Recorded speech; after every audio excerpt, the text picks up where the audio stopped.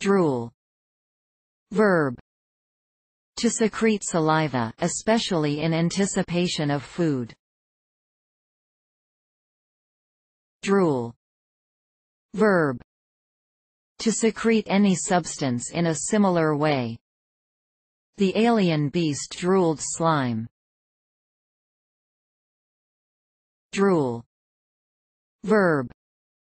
To talk nonsense, drivel. Drool. Noun. Saliva trickling from the mouth. Drool. Noun. Stupid talk. Reference